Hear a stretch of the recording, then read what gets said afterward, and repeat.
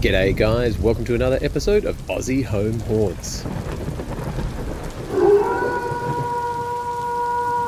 Don't forget to click that like and subscribe button.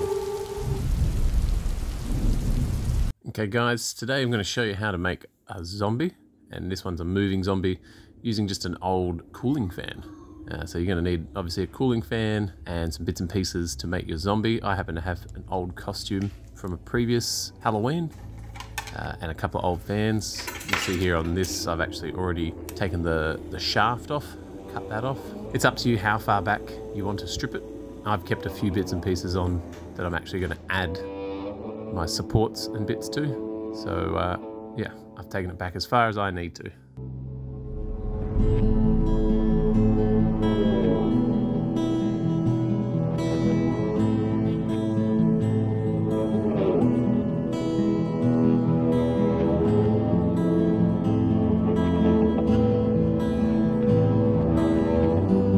Want to make it as lightweight as possible. So I'm not sure if you've ever put your hand on one of these fans or tried to hold it, but as a bit of a safety, they'll just click when they meet too much resistance. So the lighter, the better. I'm using a bunch of old coat hangers uh, and cable ties so that the attaching hardware is quite lightweight.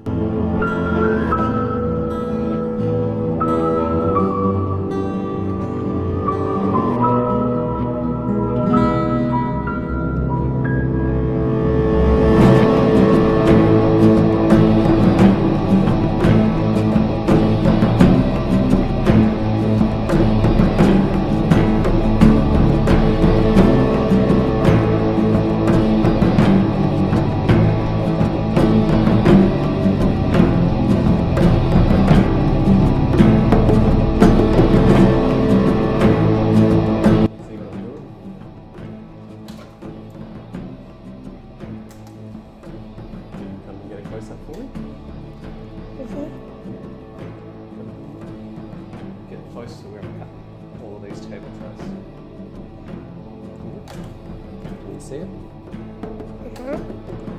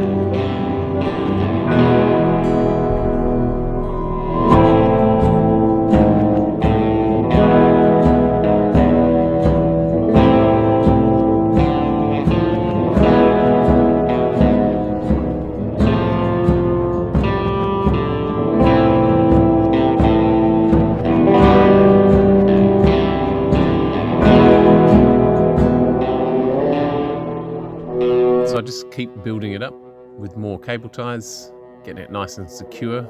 And I've used some pool noodles to help flesh out some of the, the size, something for the actual clothes to drape on.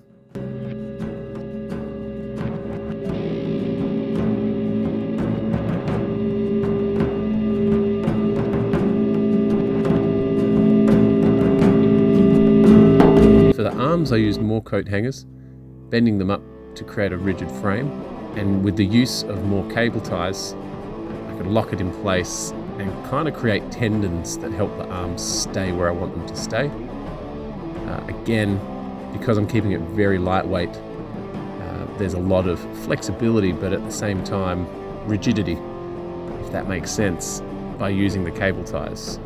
Uh, also, when I put the pool noodles on to create the actual flesh of the arm, uh, that also helped in keeping it where I need it and giving me something more meaty to also attach the cable ties to.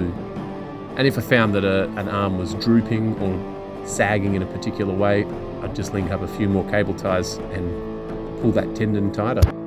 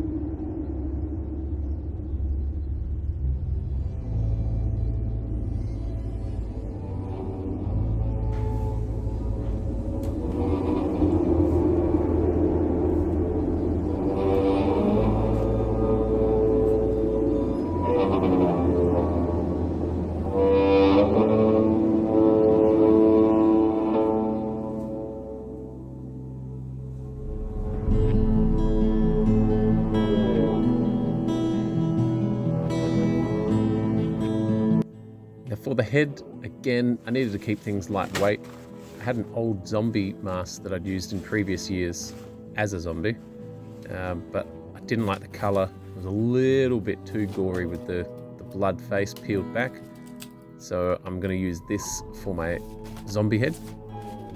And what I don't know yet, but I'm going to find out, is that either there was a weird mix going on with the spray foam, or this particular mask didn't have enough breathability to let the foam set. So in hindsight, I should have put a little bit of spray foam in at a time instead of just packing it out with spray foam. Because the head stayed squishy for days. I was cutting holes in the back. I was gutting the inside to try and get air in just to get it to set. It was, uh, it was a bit of a nightmare actually. But we got there in the end. So right here, where you can see me spraying the foam, I should have just done it a small bit at a time. But uh, I got overzealous and actually it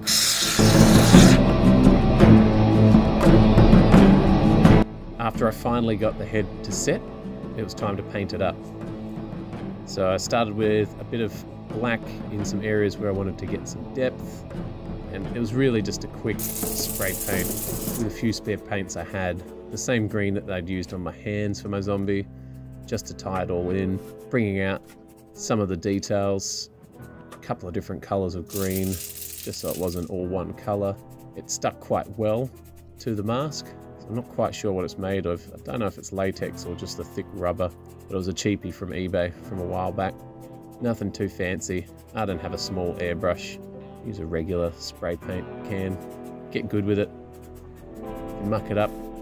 Spray it again. Wait for it to dry. Spray it again. Can only but try.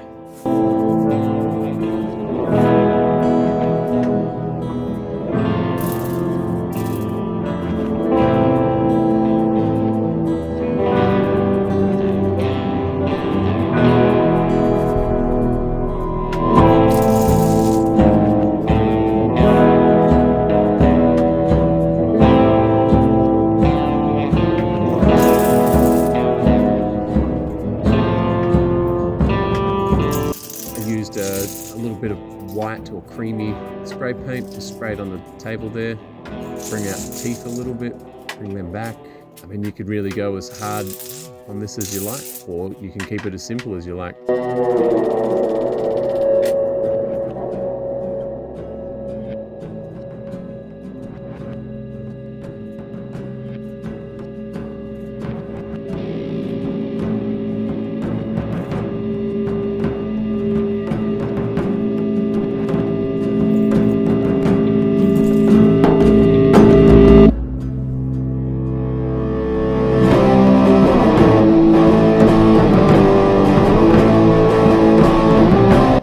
Have it, the finished product. So I've sat mine on a box, stuffed the legs a little bit, and embedded the actual fan pedestal into the bottom of the box so it's not going anywhere. You could probably put this on a taller pole if you'd like so that he's standing up. Uh, really, it's up to you where you want it in your setup. there we have it guys. Thanks for watching. Like and subscribe for more videos.